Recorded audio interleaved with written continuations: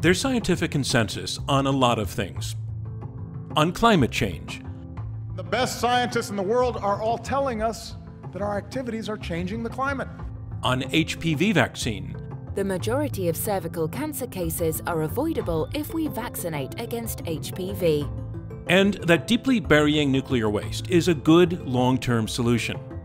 So you would think that the public could agree on these issues. In many ways, one would hope that that's true, right? The the information that we learn about science ends up getting filtered through our prior beliefs, through our prior values, through our religious views, our ideologies. And as a result, the exact same piece of scientific information means very different things to different people. Compliance for mandatory vaccinations is about 90% in the US. But the HPV vaccine that protects against cancer from a sexually transmitted virus is only mandatory in three places. You can frame HPV in two ways. You can either see this as a vaccine against cancer um, and leave it at that. Or you can see it as a vaccine that, as some people saw it as it was rolled out in Texas and elsewhere, that would lead to promiscuity. So, why do we disagree on scientific consensus? What's important to keep in mind here, when we process new information, the way we as human beings do that, we put them on mental shelves. I don't look at every piece of information as if it's the first thing I've ever seen. I basically have in my head a number of mental shelves that allow me to quickly categorize new information. So HPV vaccine, the HPV vaccine is a great example because I can either put that on a curing cancer shelf or I can put that on a on a sexual intercourse among minors or among people who we think shouldn't have that yet shelf. Let's see how that works. We're going to introduce you to two composite characters. We're calling them Marcia and Marie, and they are proxies for a whole bunch of studies that have looked at this issue. First, meet Marcia. Hi, everyone. She's a working professional, college educated. She has two children, and she's scientifically literate. Now meet Marie. Hi, everyone. She's a working professional, college educated. She has two children and is also scientifically literate. They are alike, but so different.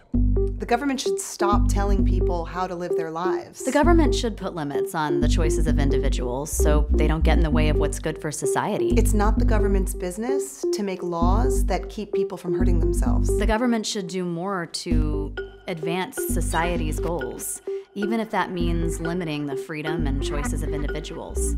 Their cultural and political outlooks on the world differ, and researchers have labels to describe them.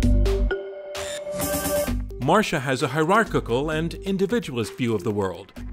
On climate change, I really don't think there's a climate problem, and certainly not man made. the HPV vaccine, I mean, I don't know why my daughter has to be vaccinated against a sexually transmitted virus when she's only 12.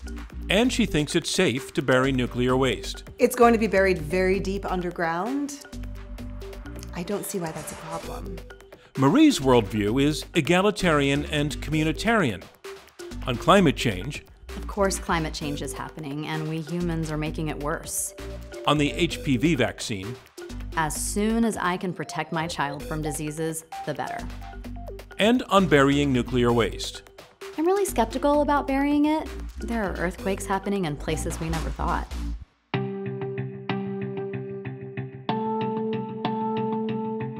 Their worldview affects how they assess risk. So cultural cognition is a version of what's, what's, what we've known in, in psychology for a long time as, as motivated reasoning. And motivated reasoning says we as human beings don't reason in a perfectly objective or neutral way. Scientific information may be fact based or neutral, but how we interpret that information is not. We assimilate reality into our biased worldview. We don't adjust our worldview based on the reality, but we, we adjust reality based on our worldview. In fact, the more scientifically literate, the more you stick to your beliefs. We protect our identities.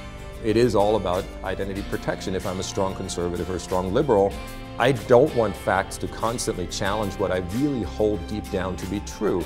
In an increasingly politically polarized world, how do we fix this problem?